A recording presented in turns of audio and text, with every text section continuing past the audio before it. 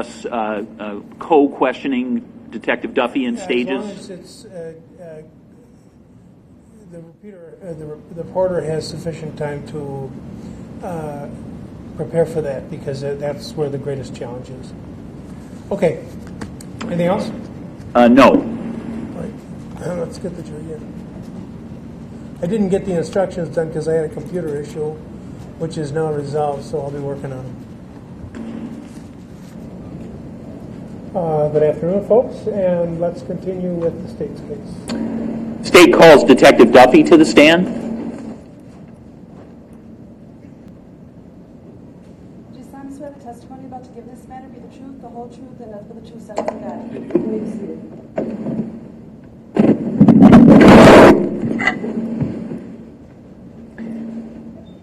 Sir, can you state your first and last name, please? Kenneth Duffy.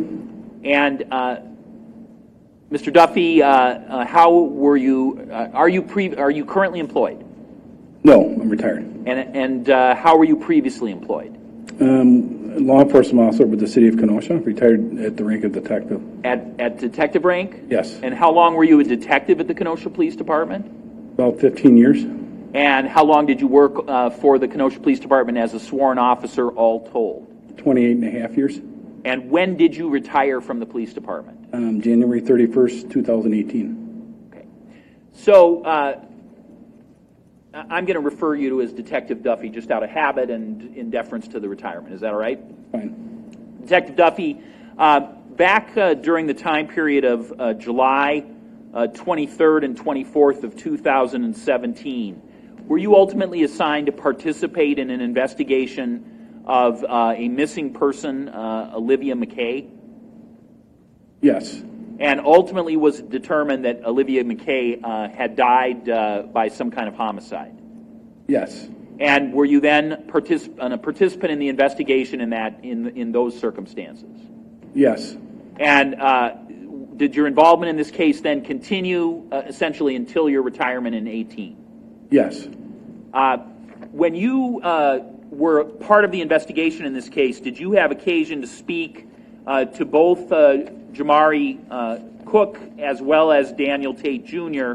regarding Olivia McKay and the fact that she uh, had been found deceased? Yes, I did. And uh, did they, uh, at, some point after speaking to the two of them, did uh, were you directed to a particular location in Kenosha where her life had ended? Yes, I was. And uh, where were you directed that her life had ended? Um, by the band shell um, located um, on 7th Avenue, about the 3500 block. So that's in the 35, 3600 block of 7th Avenue. Yes. Uh, do we call that Pennoyer Park?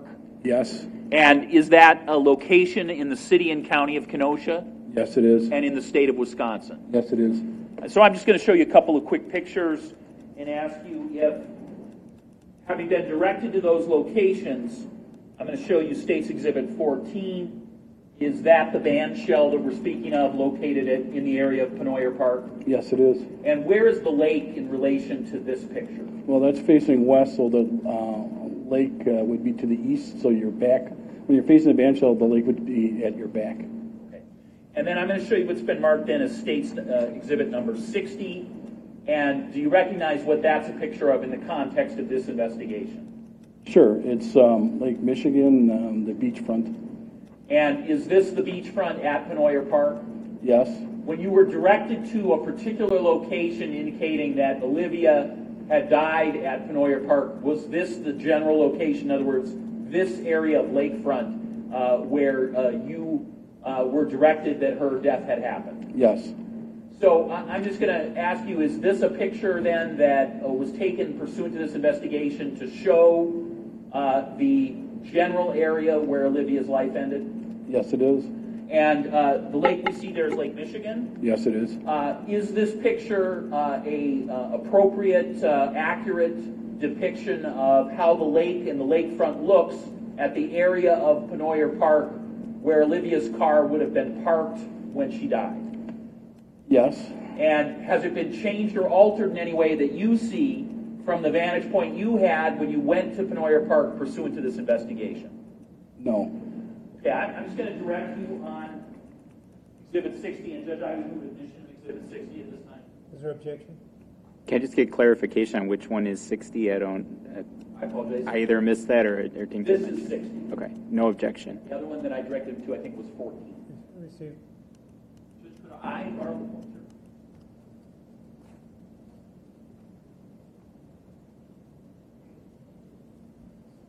Detective, if I could ask you, could you go up and show me on Exhibit 60 where the sort of uh, contiguous, meaning uh, never interrupted lake begins in this picture as opposed to ponds or other bodies?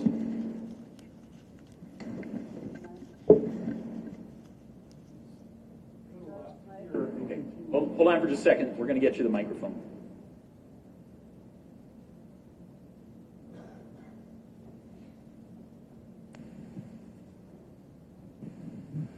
In this um, picture, it's to the left here, which would be to the north, and continues south to the right here. Um, This water here, just to the north, uh, and the picture that's not shown is Pikes Creek. And this water, this little ponding area changes depending upon the uh, amount of rainfall we get from Pikes Creek, because it's constantly changing the um, course of Pikes Creek, um, which flows into Lake Michigan. So is, what, what separates the ponding area from the larger lake? Sand. Uh, So there, is there, so when we look at this picture, it looks like grass takes us right to the edge of the pond. Is that true, or? Yes. Or, or does the picture cut off some sand that we would also have? There's sand just beyond the grass here. Very well.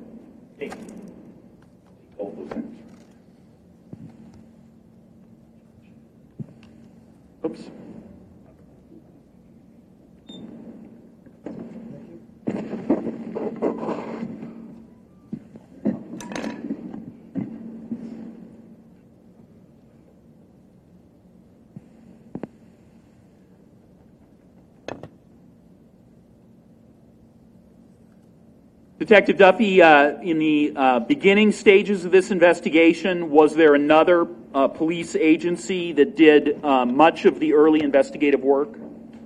Yes. And which agency was that? Uh, Mount Pleasant um, Police Department in Racine County. And could you be, basically describe for the jury why, if uh, Olivia McKay was a Kenosha resident, why Mount Pleasant Police Department would do most of the early investigative work in this case? Olivia's um, body was found in their jurisdiction, found by some property owners on um, Monday, July 24th. Um, At that time, we weren't sure where the um, death actually occurred. We just know that at the time they found her body, she was deceased. And so during that period of time, did Mount Pleasant Police Department's officers pursue uh, warrants and other documents to try to investigate this case? Yes, they did. And uh, what was uh, Kenosha Police Department's role during that early stage? We were there to assist them in anything needed um, from us um, in our jurisdiction. Ultimately, on August 3rd, 2017, was an arrest made in this case. Yes. And what individual was arrested uh, and uh, then questioning pursued on that date? Um, Daniel Tate. Is, is the person you've identified as Daniel Tate here in the courtroom today? Yes. For purposes of the record, Detective Duffy, can you indicate where that individual is seated today and what they're wearing? Sure. He's seated to my right between his uh, two attorneys wearing um, a striped shirt and um, cornrow hair. Kind of a color? Oh, it's a button collar. Well, shirt collar, yeah. Whatever you say. Go ahead. Detective Duffy, uh, uh, were you uh, present when uh, the uh, individual you've identified as the defendant was uh, interviewed in this case? Yes. And did you participate in that interview? Yes. And uh, in that interview, uh, who did the defendant describe as his best friend? Jamari Cook. And uh, where did the defendant uh, indicate he had been staying during the period of July 22nd, July 23rd, July 24th? Where did he say he was residing? He was staying at his grandmother's house located at 902 Sheridan Road. Um, his grandmother's name is Patsy Tate. And how did the defendant describe to you that he was communicating with the outside world? What was he utilizing? He was using a cell phone which didn't have service, but um, was able to um, access the outside world using uh, Wi-Fi. And did you um, uh, did you specifically ask the defendant any questions about uh, a app on a phone called Meet Me? Yes, And what did the defendant uh, say to you, if anything, regarding whether he had been active on Meet Me? he indicated that he used the Meet Me app to meet um, girls. And did he indicate uh, what his specific uh, nickname or or, uh, or or name was, identifying name within the Meet Me app? Um, his profile name was D6. Was that D E E then S I X? Yes, And did what, if anything, did the defendant say about whether uh, he believed anyone had ever hacked into that account? he told me he didn't believe that anybody had hacked into his uh, Meet Me um, profile. Now, Detective Duffy, was one of your focuses in this interview to uh, determine what the defendant was going to tell you about uh, his contacts on Meet Me with Olivia McKay? Yes, Did you already know at the time that this interview was being conducted that the defendant, uh, under the name D6, that, that, that a contact uh, with a person named D6 had been in touch with Olivia as one of the last things that we were known known contacts when she was alive?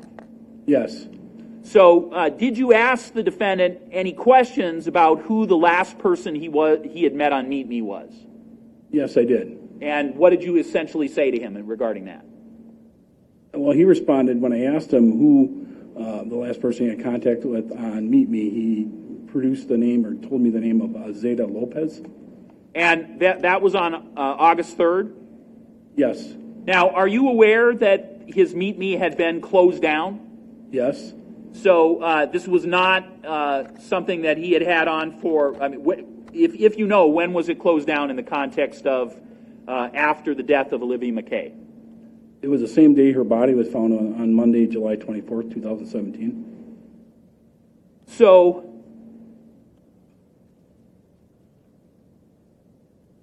when the defendant told you that the last person he'd met on Meet Me was Zita Lopez, um, did you have records already that allowed you to know whether that was accurate? Yes, Okay? And so, what, if anything, did you do next in general with the fact that you knew that was likely not accurate? As I continued to talk to Mr. uh, Tate, the defendant, I asked him if he was sure about um, Zeta Lopez being the last person that he had contacted on Meet Me. I told him I was asking him that question for a specific reason, that I might already know who he had contact with. And based on that response, did what, if anything, did the defendant change in, in his original response about who he had last met on Meet Me? He then um, told me the name of Olivia. Instead of Zita Lopez? Yes, Did he indicate to you when he had had that contact with Olivia? back on, I believe it was Sunday, July 23rd, 2017. So I, I just want to be clear. So the defendant specifically told you he was the one who was in contact with Olivia on July 23rd. Is that right? Yes, And did he tell you, what, if anything, did he tell you about whether he told Olivia that he was interested in having sex with her in that contact? Based upon the uh, Meet Me records, there's a conversation between the defendant, Mr. Tate, and uh, Olivia, Olivia McKay, the victim, that they were supposed to um, have sex at his grandmother's house, located at 902 46th Street. And did the defendant agree that was his communication with Olivia on Meet Me? Yes, So, did the defendant describe to you how he and Olivia were to find each other after this contact on Meet Me? They used um, Facebook messaging. In fact, when she was en route to his home on the evening of Sunday, July 23rd, 2017, he was waiting outside and actually saw her drive past his residence and sent a message to her asking if that was her that just drove by his house. And so I'm, I'm asking you what the defendant told you. So did the defendant tell you then that he did have contact with Olivia McKay on July 23rd, 2017? Yes, And did he tell you how she came to be at his grandma's residence? at his direction. And did he tell you her mode of transportation? A car. Did he tell you anything about the car, if you remember? I believe we had a discussion about that. It was a four-door um, vehicle, silver in color. Did he tell you uh, whether Olivia had told him what her age was? Yes, she indicated that she was either 16 or 17 years of age. Did, he, did the defendant, what if anything, did the defendant tell you about what color Olivia's hair was? Um, he remembered that it was brown. What, if anything, did the defendant tell you about his estimate of how she looked and whether he was going to pursue sex with her? I think he, he said she was average, not real attractive.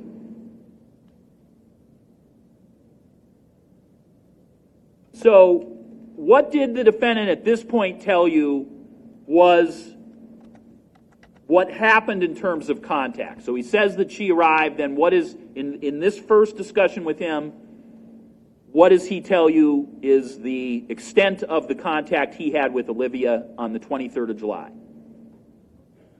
Initially, he told me when she arrived um, and pulled in front of his, uh, his grandmother's house, he, Jamari Cook, entered her vehicle.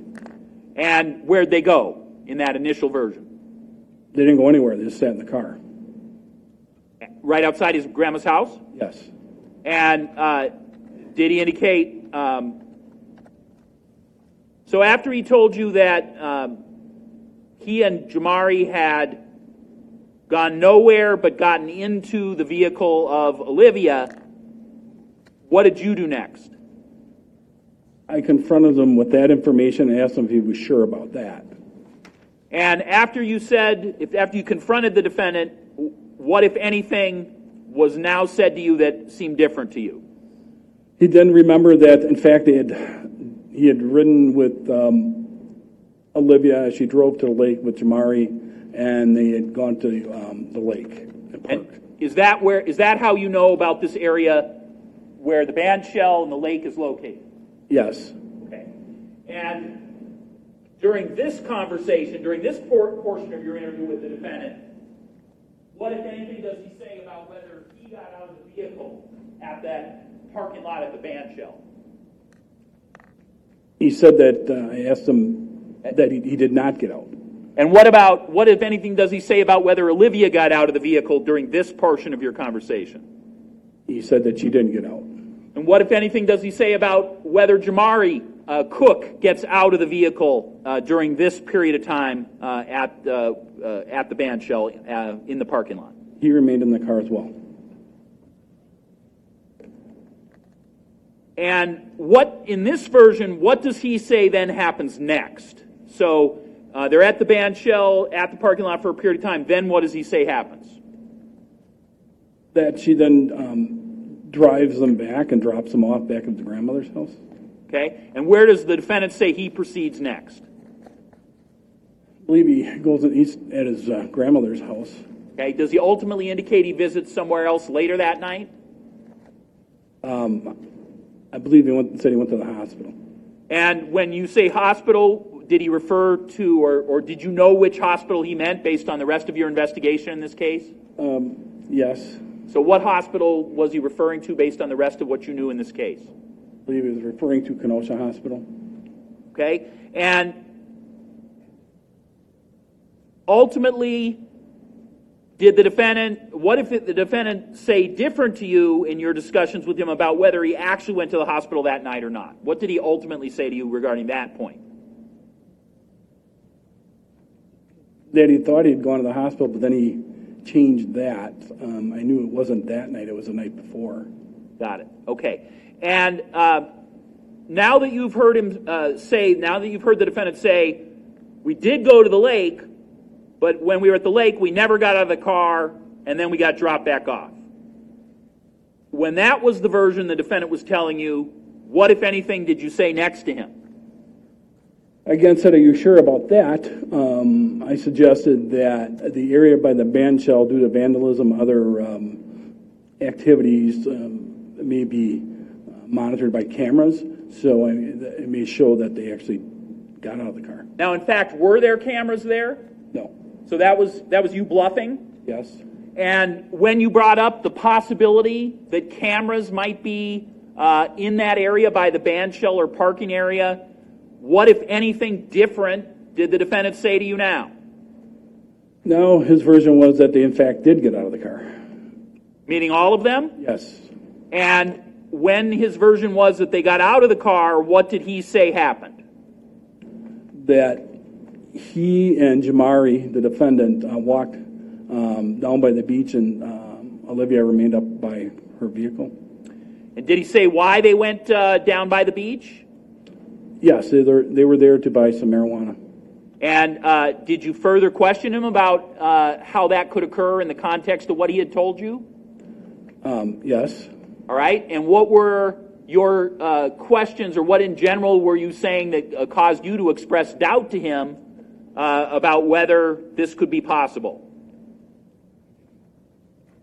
About because I, um, I then asked him. You'd earlier told me you weren't even at the lakefront. Now you're out. I said, then who? You know, how long did you remain um, at the lakefront once you bought the weed?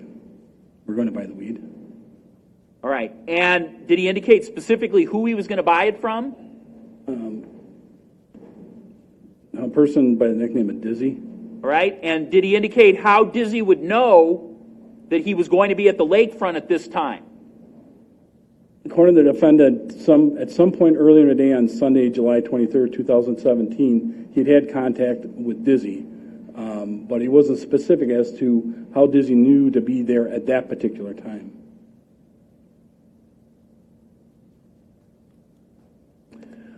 So, after hearing this version of events, uh, did you continue to question the defendant?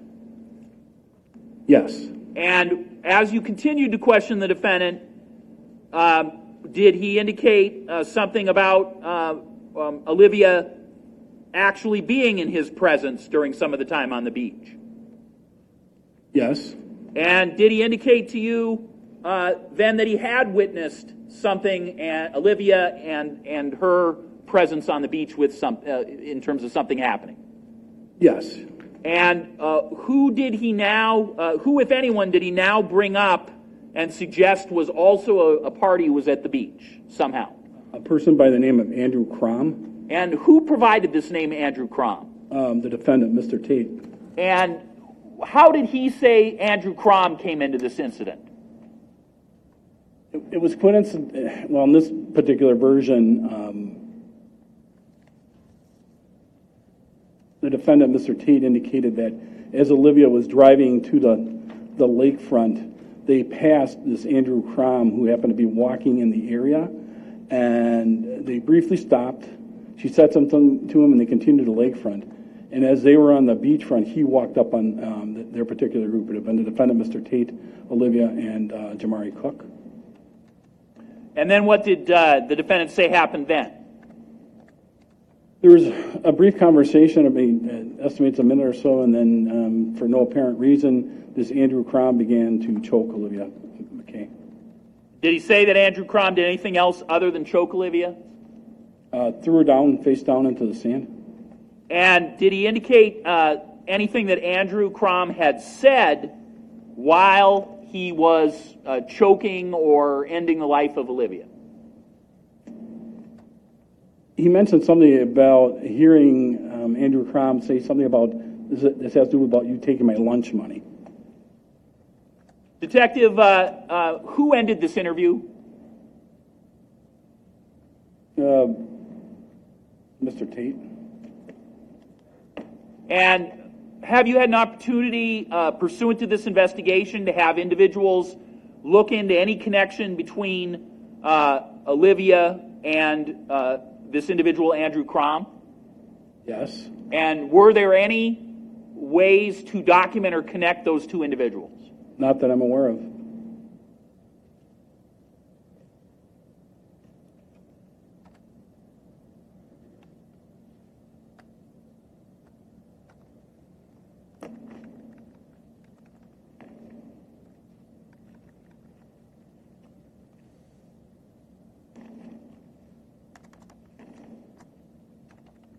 And did uh, the defendant indicate who was present other than himself when this Andrew Crom choked Olivia?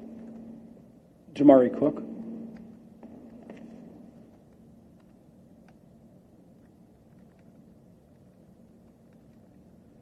Now, Detective, pursuant to this investigation, did you have an opportunity to uh, to take uh, uh, Jamari Cook's uh, phone?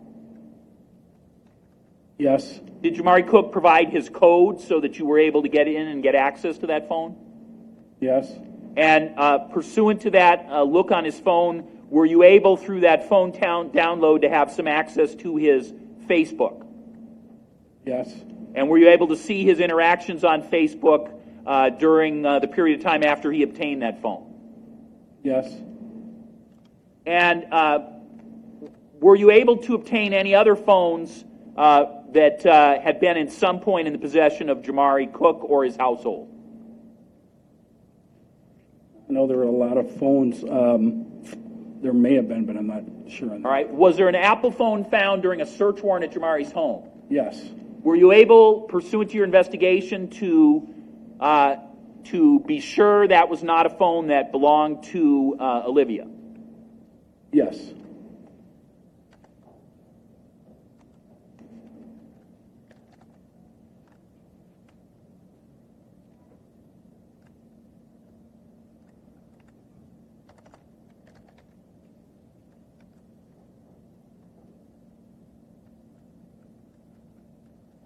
Detective, were you able, pursuant to this investigation, were you and other officers able to review Olivia's Facebook records, her phone uh, records, to see if there were any interactions between herself and Jamari Cook?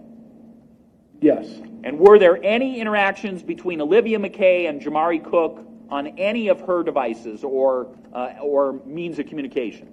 Not that I'm aware of. And were you able to review the defendant Daniel Tate's uh, phone and Facebook records, Meet Me records, those different avenues of communication? Yes. And uh, is it correct that there were interactions between the defendant and Jamari Cook involved in those uh, records? Is that true? Jamari Cook or, or? Between the defendant and Jamari Cook, there Yes, were yes. there were records. Yes. yes.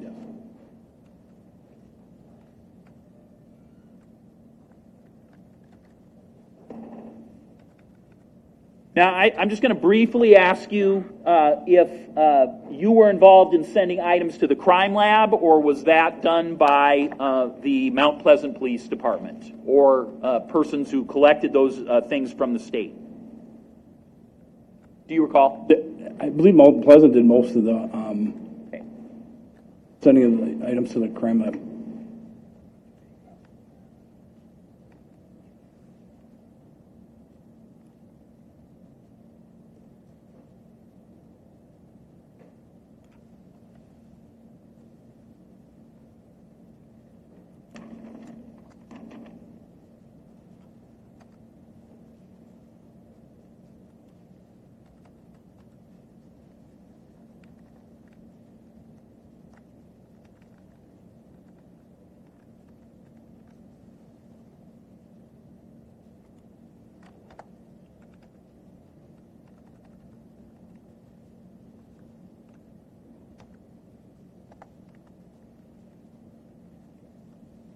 Detective, pursuant to this investigation, did uh, uh, officers have an opportunity to interview uh, a person identifying herself as the girlfriend of Jamari Cook, Kaylee Lalonde?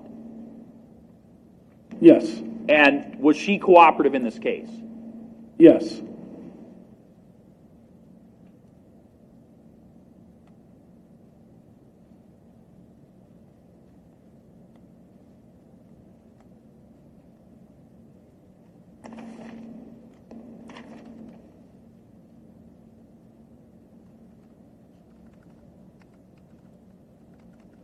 Detective, pursuant to the investigation in this case, was the, uh, a person by the name of Dizzy identified by name? Yes, And was that name Daryl Crandall?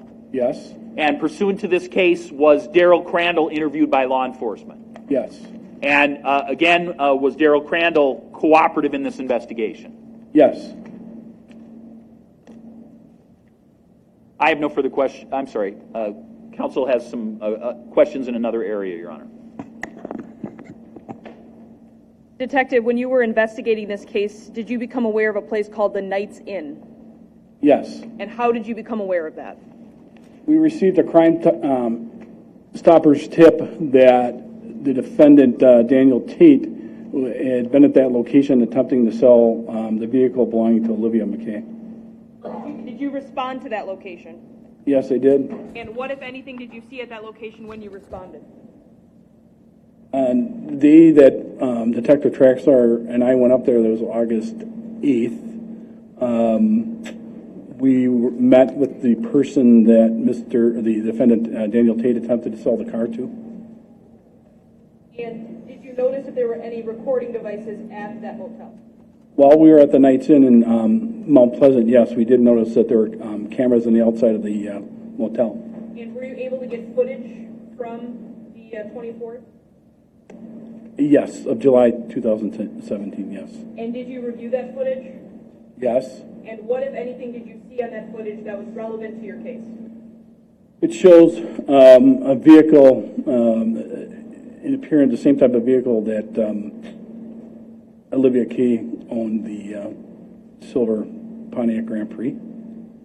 And is it fair to say that there were a couple of different clips that showed that vehicle? Yes, And did you review all of the surveillance that was from that place? yes, And was there anything about the timestamp on that surveillance that was of note? yes. The time on the um, video cameras at the Knights Inn is an Eastern Standard Time, so they're an hour ahead of us. And were the individual videos timestamped? Yes, So they were an hour off? correct.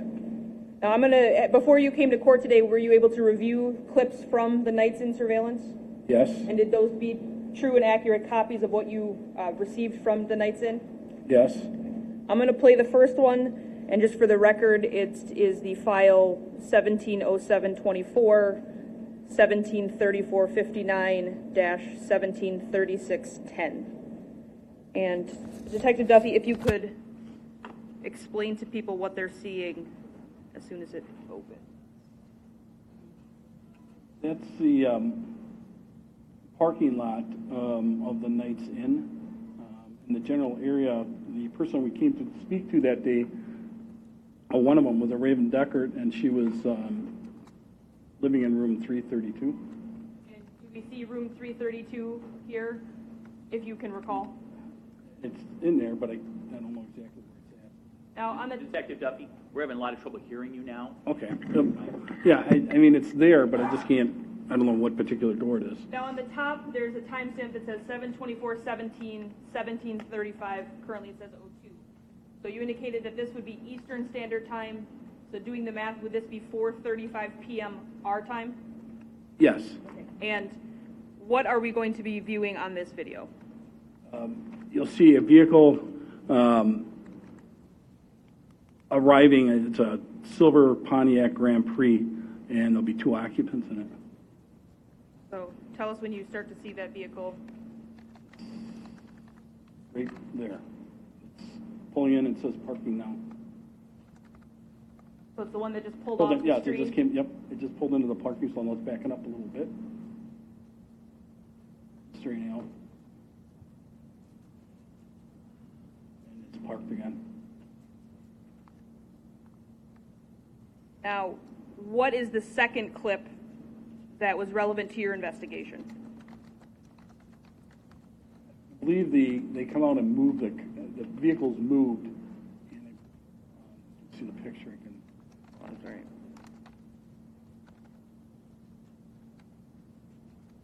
So narrate this as you see uh, what was relevant. What, first of all, what is the time of this next clip, roughly? it's four thirty-eight, uh, PM on, uh, Monday, July twenty-fourth, two thousand seventeen. Again, So minutes after the first clip we watched? Yes,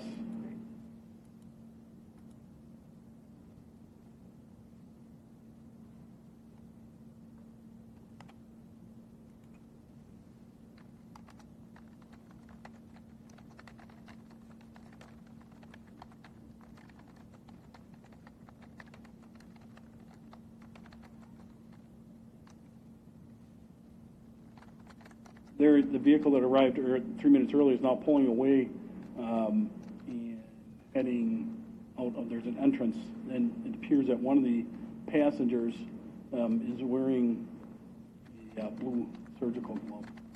When you first saw this uh, video, were you able to then pause it and get a still shot uh, closer to the car? Okay, I'm going to show you what's been marked as States Exhibit 56.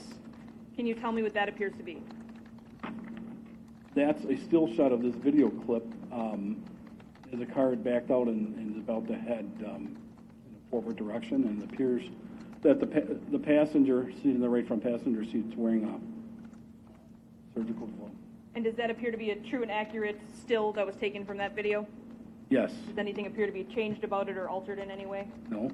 Your Honor, I'd ask to move States Exhibit 56 into evidence and publish it to the jury. Any objection? No, excuse me, no objection. So where do you, where do you see this glove portion? If you look, the window is down in the right front passenger window, and the person sitting in the right front passenger seat has their um, forearm on the um, open window, and the kind of grainy here, but um, that white appearing um, object is a uh, glove, and we were able to confirm that by speaking with Raven Deckard.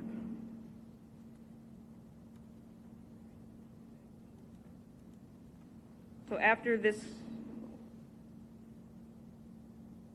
so in this video at 4:38, then pulls off screen, when is the next time that relevant video can be seen? If you recall. I I don't recall the exact time, um, but the vehicle does come back. Um,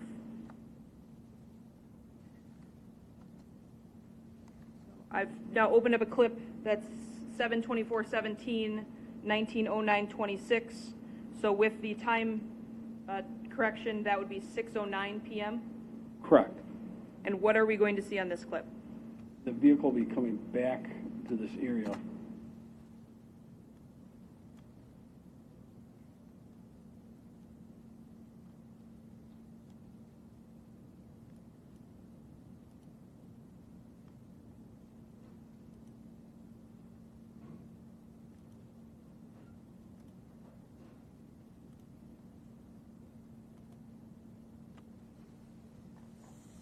As you can see, it's coming back through the, the lot again, pulling in.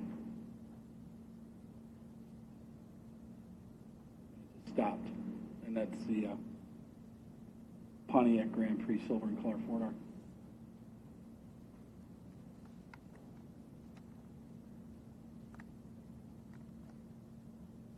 And who just got out of the driver's seat of that car? It appears it's Damari Cook. It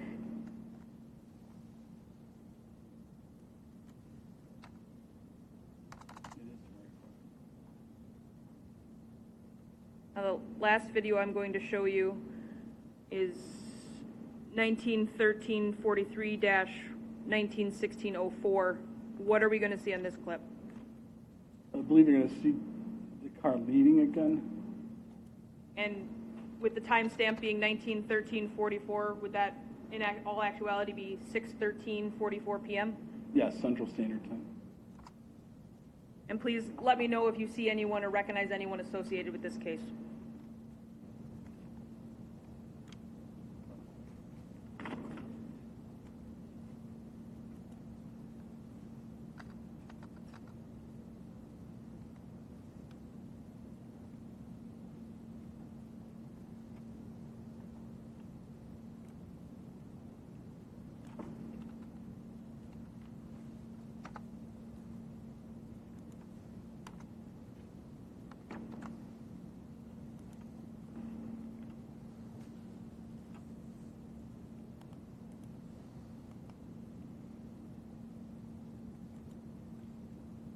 Damari Cook just walked back into the um,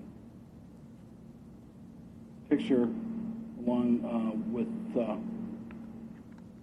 Daniel Tate, who's wearing the hoodie, the white hoodie sweatshirt with the hood up. So who got in the driver's side Um, Damari Cook, and who got in the passenger side? Daniel Tate.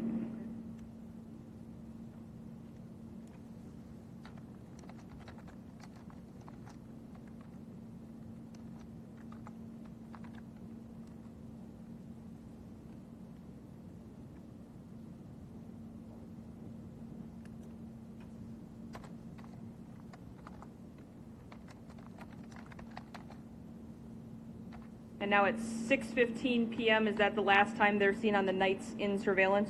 Yes, And does the clips that I just showed you appear to be true and accurate uh, copies of what was taken from Knights Inn security? yes, Does anything appear altered about it or changed in any way? no, Your Honor, I would move States Exhibit 2 into evidence. Is there objection? No. Received.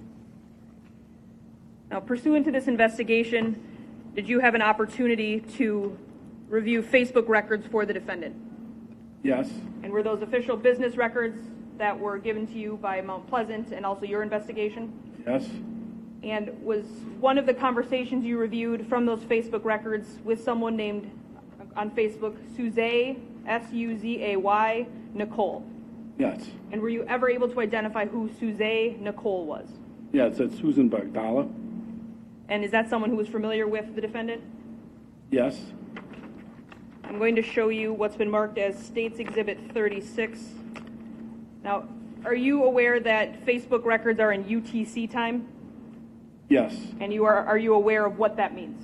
That means they're um, going to be off uh, ahead of us by five hours. So I'm going to show you this exhibit, and I'm going to have you start reading at the top. So starting at the top, what day are we talking about here doing the time conversion? Would that be the 23rd of July at approximately 3:01:58 p.m.? Yes, Okay. And who is the author of this message? um, that is the profile name used on Facebook by the defendant Daniel Tate, DJ Youngin. And DJ Youngin says to Suzay Nicole, whatever, dude, I'm not going to argue with you. Stop fucking around and come home. And then does Suzay Nicole then respond? Yes, her response is, I am. And then DG Youngin responds with WYM. And is that commonly what you mean you are? Yeah, that's slang and the abbreviations that they use on um, texting and such and sending messages. And Suzay Nicole responds on the 23rd of July at approximately 3:04 p.m. We agreed to get our shit first because I refuse to run the streets again with the baby. Correct? Correct? And then DG Youngin responds at 3:04 p.m. and 40 seconds on the 23rd. We can do it quick ASF. Is that as fuck? Yes. And I just got to grip a steamer or two and get a job. Is, is that what that says? Yes. Now, prior to this case, were you aware of what a steamer was? Um, not in this context, but yes. Um, and do you see then where Suzay Nicole, her next message is, then do it? Yes. And does this appear to be true and accurate um, excerpts from the Facebook records of the defendant's DG Youngin profile with Suzay Nicole Susan Bagdala? Yes. Does anything appear changed about the messages that we just went over in court? No. Your Honor, I would move States Exhibit 36 into evidence. Objection. No. Received. All right. Next, I'm going to show you Facebook messages that are States Exhibit 37. Can you identify who DG Youngin is speaking to in these messages? Um, the author is a person by the name of Amanda Hanneman. And was she someone that you became familiar with in this investigation? Um, yes. So I'm going to direct your attention to the bottom of the first page of these, uh, specifically right here. Now, this says 724 of 2017, but it's at 015103. Given the time difference, would that be 8:51 p.m. of the 23rd? Yes, it'd be on uh, Sunday, July 23rd, 2017. And the time would have been 8:51. And what does Manda Hanneman say to the defendant that night? Um, says, "Let me come over for a bit." And the defendant then responds,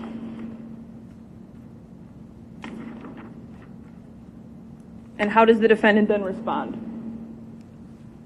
Okay, I got a lady friend coming over at 10 though.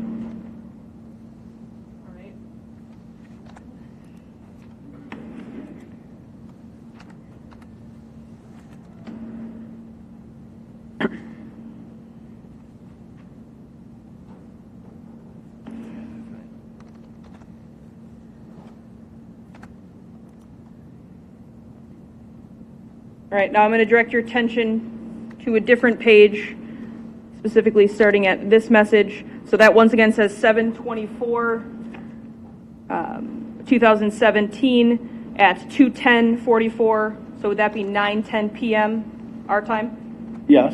And what does Manda Hanneman ask the defendant? Um, who is she? And how does the defendant respond to that? He responds, um, later, he says, her name is Olivia. And how does Manda Hanneman respond to that?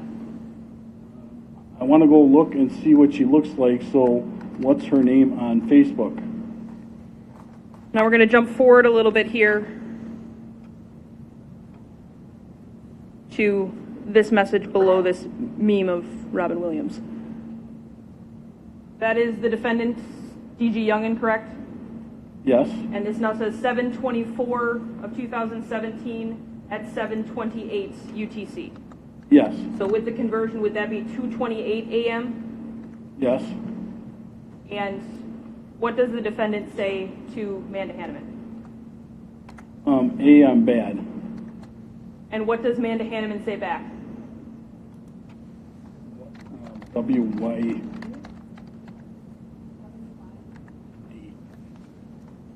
Is that potentially slang for what you doing? Yes. And how does the defendant respond?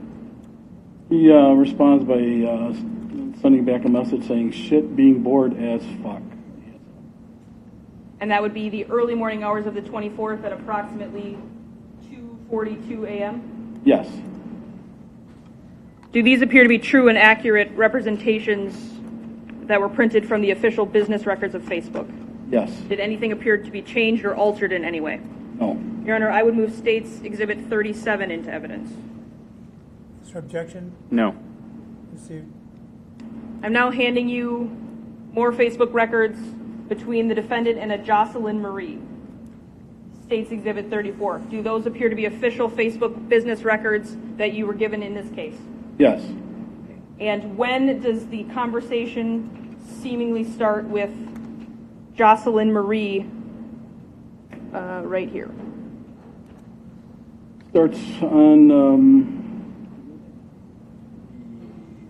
20, So it says 72417 at 751 UTC. see, So be back, um, yeah, the 23rd around. Would that be the 24th? I apologize. Would that be the 24th at approximately 2:51 a.m.? Yes, And what is the message that DG Youngin sends to Jocelyn Marie? yo, baby daddy up. And how does Jocelyn Marie respond to that? He's not my baby daddy, he's my kid's father, but hold on. And how, what then does Jocelyn Marie's profile say? What's up? And how does the defendant respond? This, this Dwayne? Now, at this point, it's 7:24 at 16:03. So approximately what time is that our time?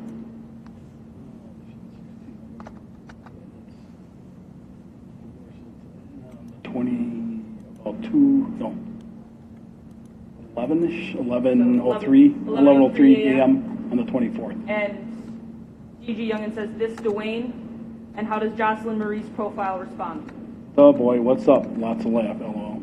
And what does DG Youngin say back to that? You know anybody trying to buy this steamer? And how does Jocelyn Marie's profile respond? Um, hot car? And how does DG Youngin initially respond? Nah. And how does Jocelyn Marie's profile respond?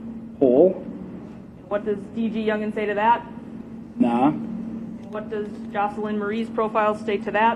What? And lol, lots of laughs. And what does DG Youngin respond to that? My fault, G, uh, W-I-M. And is that commonly what you mean? Yes.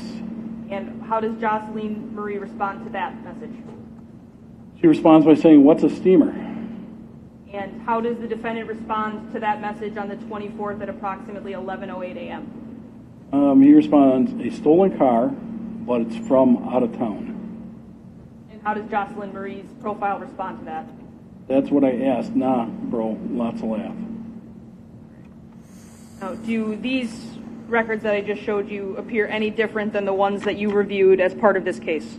No, Do they appear altered in any way?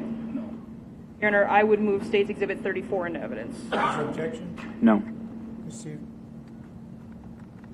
Now I'm showing you a Facebook conversation between the defendant and a Dewan Rodriguez Price, State's Exhibit 32. Do these appear to be official Facebook records, business records that you were given as part of this investigation? Yes.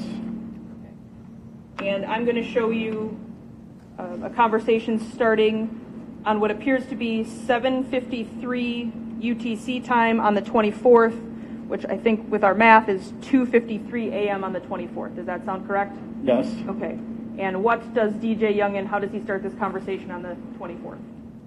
Hey, unknown, we gotta talk on some uh, real shit. And how does Dewan Rodriguez Price respond approximately 11 minutes later? Okay, what's up?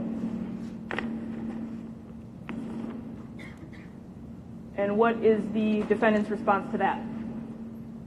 Know anybody trying to get a steamer like ASAP? And that would be at approximately 3:05 a.m. on the 24th? Yes. Okay, so then we jump forward to approximately 3:10 a.m. on the 24th, and how does the defendant then send his next message? Um, three question marks. It appears.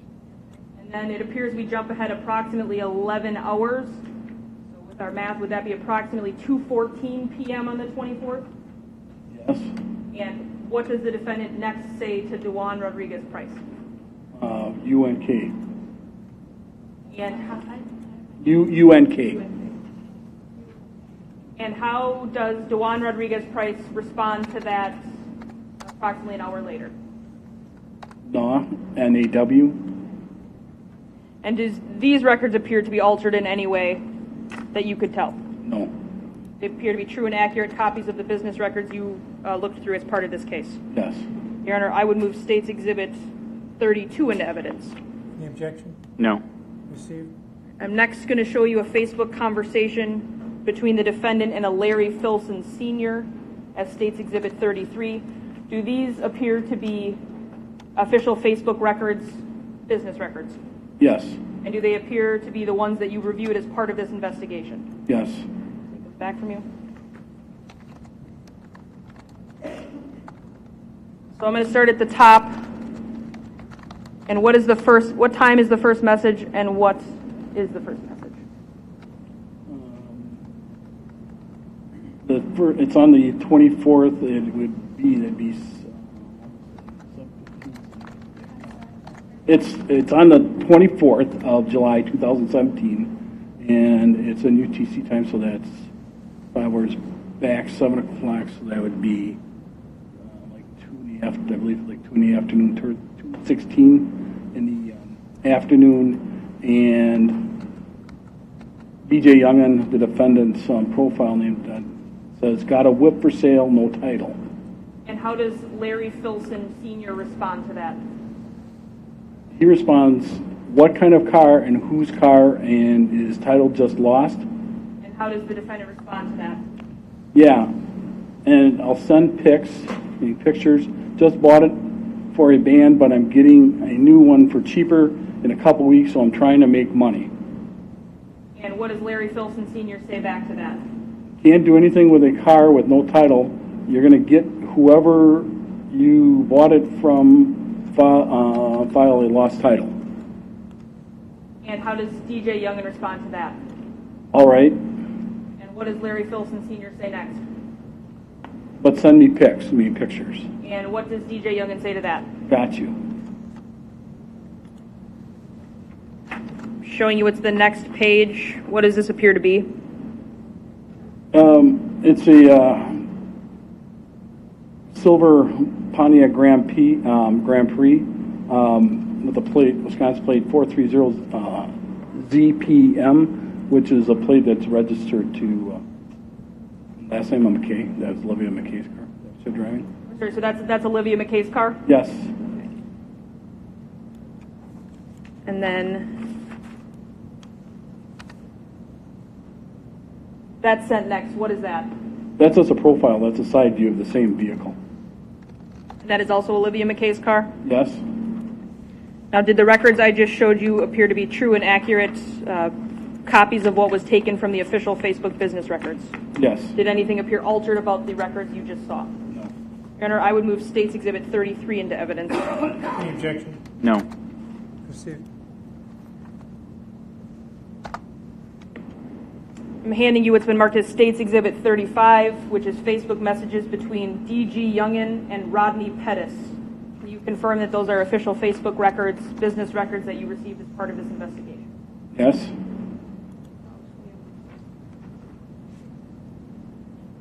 Can you read for the jury the first message sent, which appears to be 724 of 2017 at, given the calculations, 2:33 p.m. on 24th?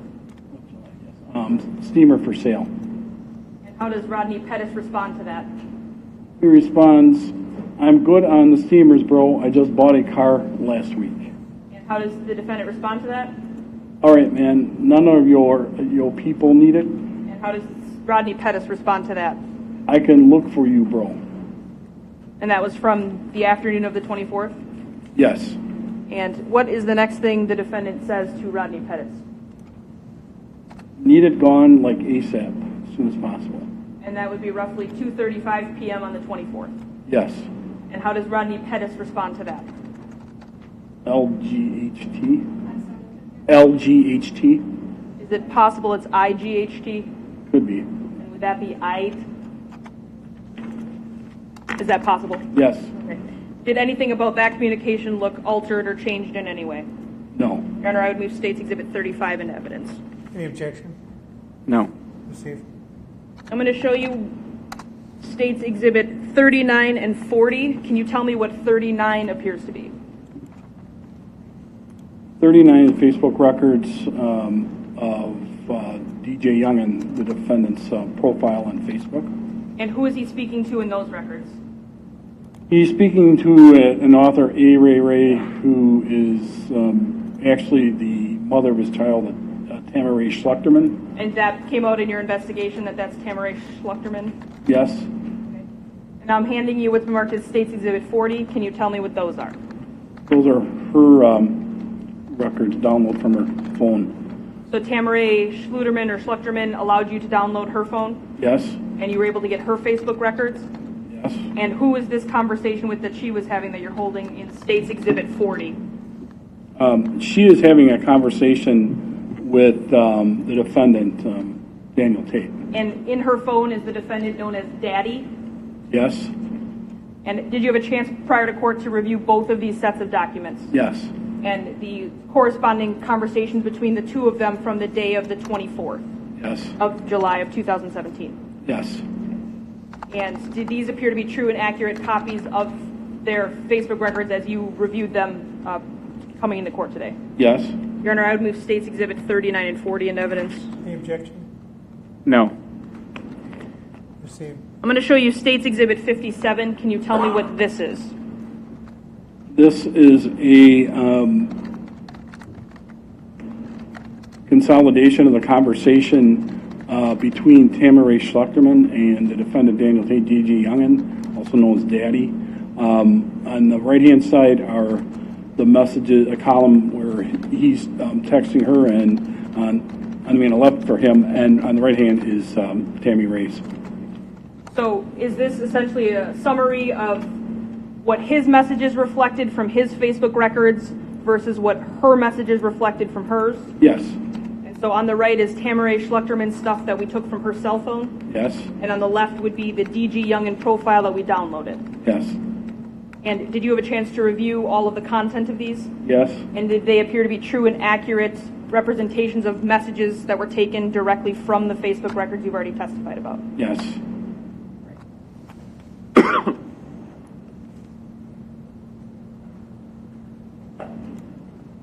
Okay, so on the left, there's a lot of blank space initially, but on the right is Tamara Schluterman's Facebook record that she had in her phone, correct?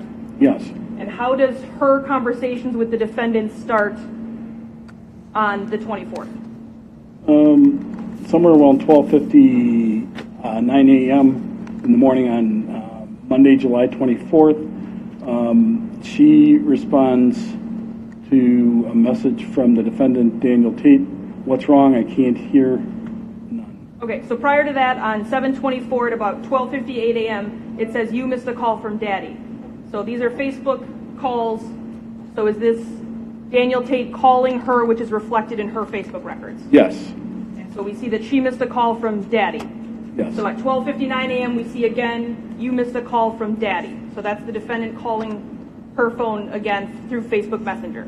correct. And then the next message we see in blue, which has the name Tate next to it, says answer ASAP. Correct?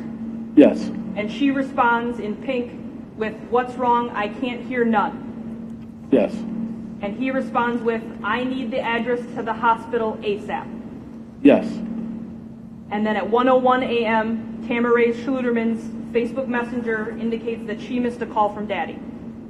yes, And then Tamara's Facebook records indicate that she sent back the letter Y.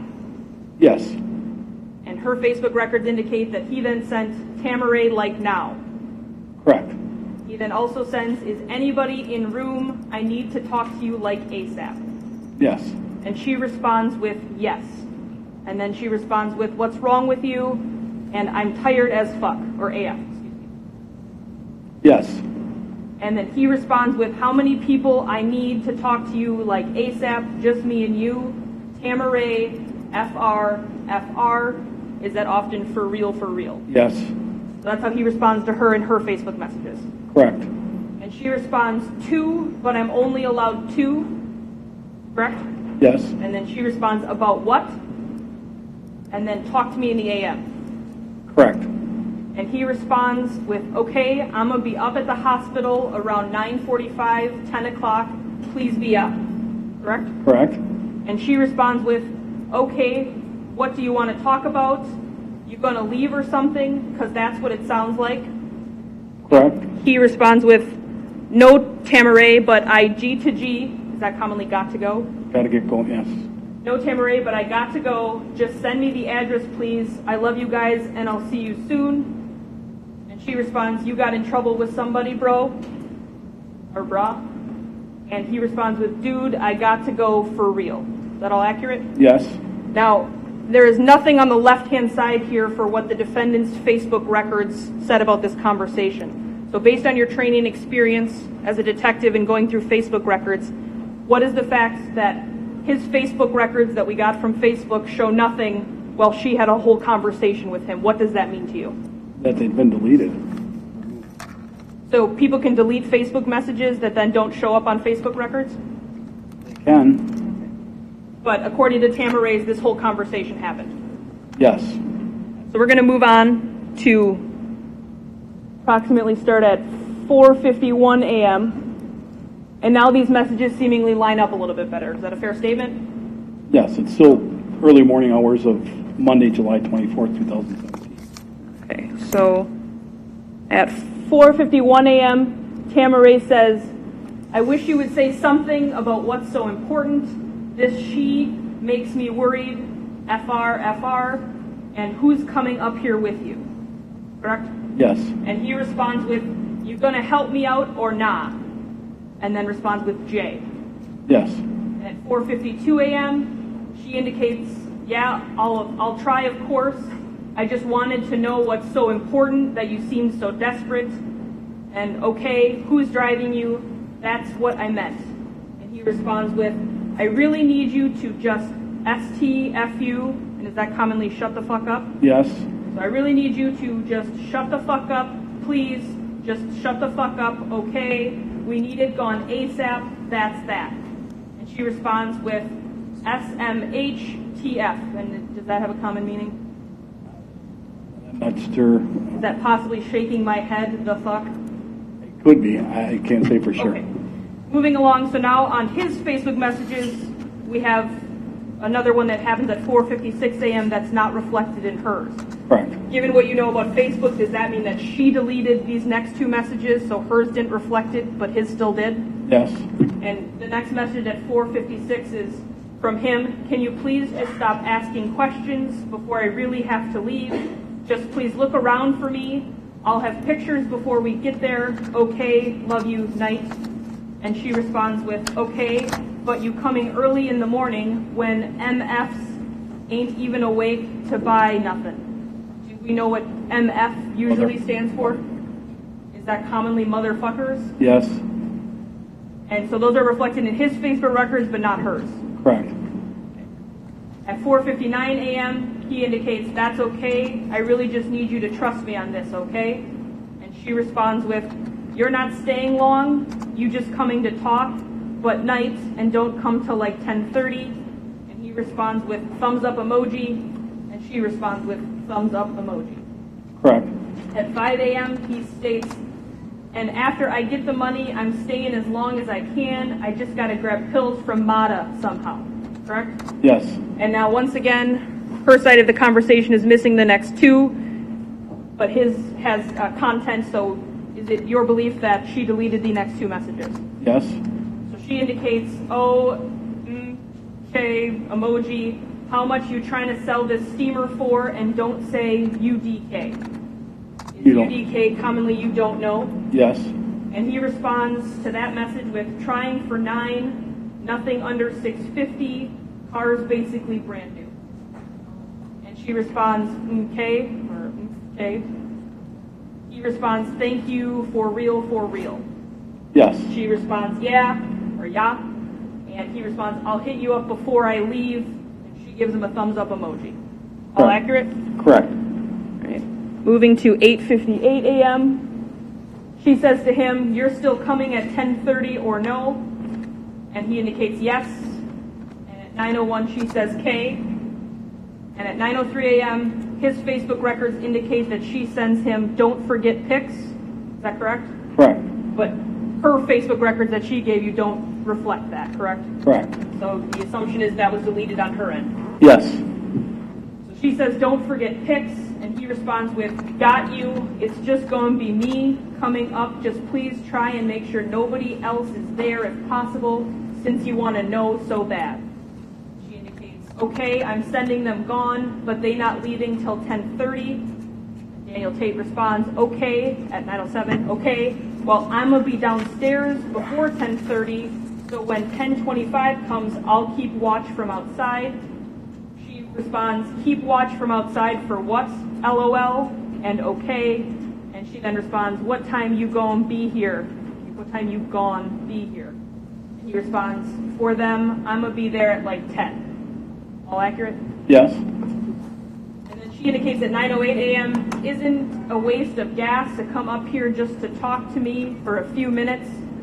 I want, I mean, I want to see you, of or course, but can't you just call me or call from Mata's phone and save yourself the trouble? And he responds, Tamaray, if I get money, I can come see you when I want. Plus, I need to get this whip off.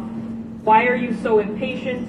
Like, can you real, really not just trust me? And she responds at 9:10, I do trust you. I'm getting to middle things easier for you.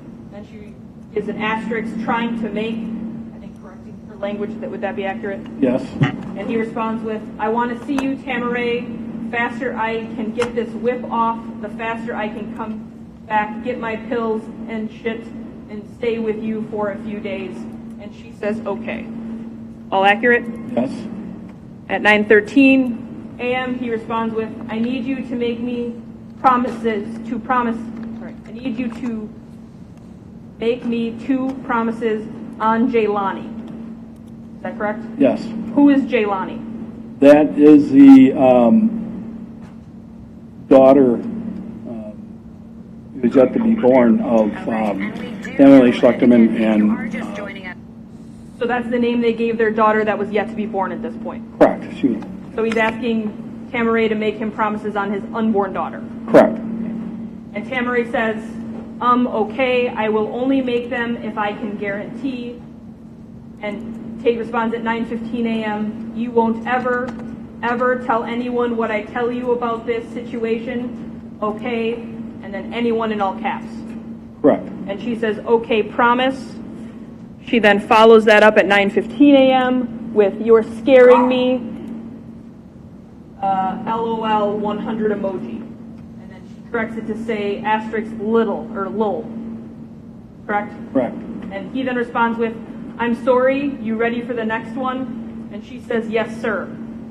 And his response at 9:18 a.m. on the 24th is, "You won't hold this over me with my daughter." She responds, if it's gone, gone, put her into a dangerous situation, then hell yeah, I will, 100 emoji. He responds, it's not, I promise you, absolutely promise you, it's all over. She responds with, okay, then I promise I won't. And at 9:21 a.m., he says, "Thank you. Look, I know you're probably gonna look at me different after this, but I gotta L-Y-K-R-N. Is that let you know right now? This Yes. the life I chose. Not saying it's always happening or always going to. Just need you to know the truth." And she says, "Okay," with a question mark. And then she responds with, Really, I'm not trying to sound bogus, but it matter how I look at you anymore. Nah, it doesn't. All that matters is rather I think you can effectively take care of our daughter and keep her safe, feed, clothed, and happy. 100 emoji. All accurate? Yes. He then responds at 9:23 with, "And I need you to be honest with me just in case this change." And she says, "Okay." He says, "I feel you, and I know I can be honestly, but honestly, do you love me? Like for real, for real, FRFR.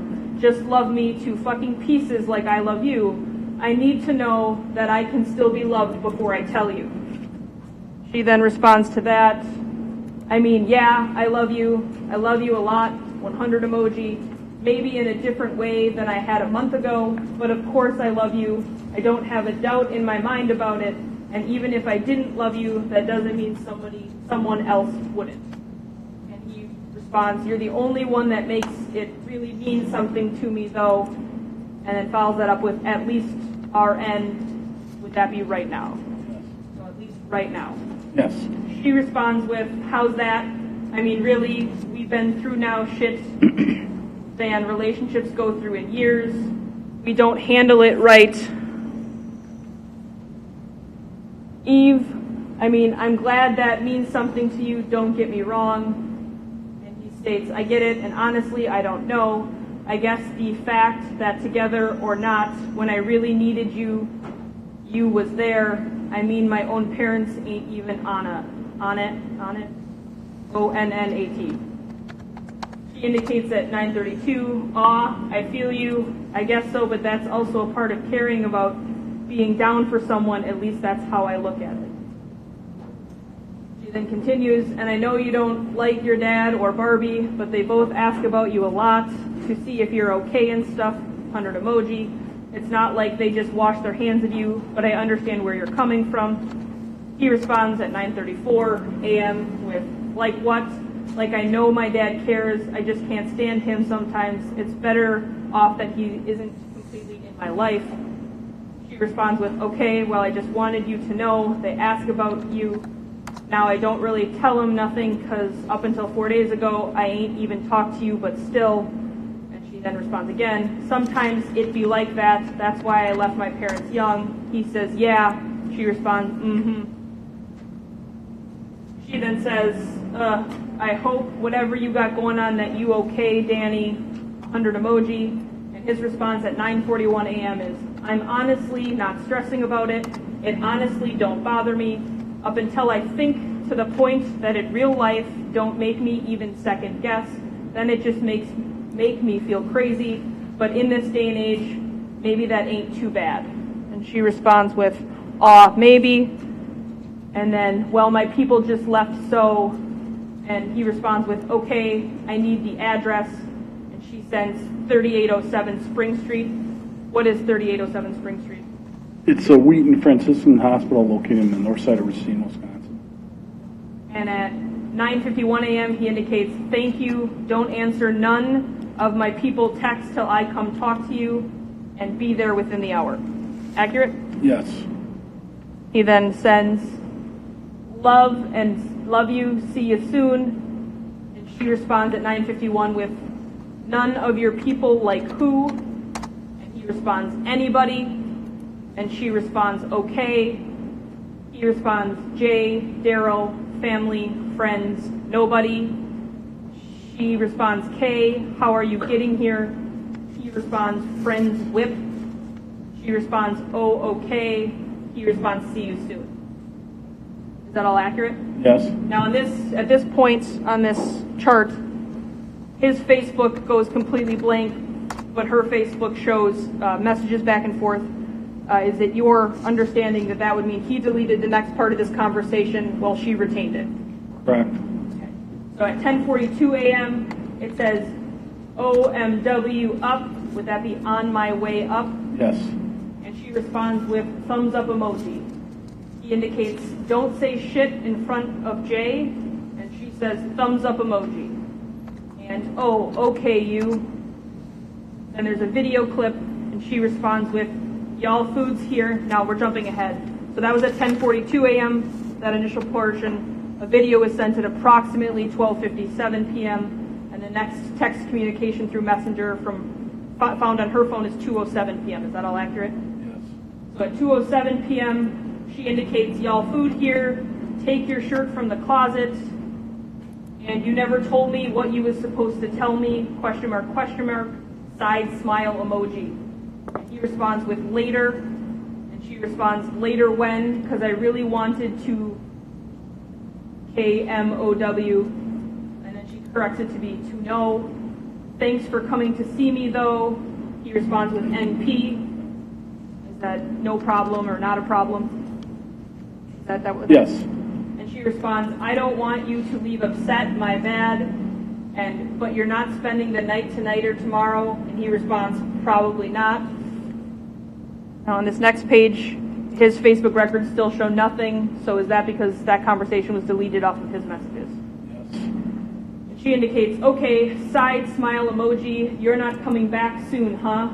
And he responds, I don't know, or I'm sorry, IDK Tamaray, is that I don't know? Yes. And she responds, you could have hugged me by though, sad face emoji.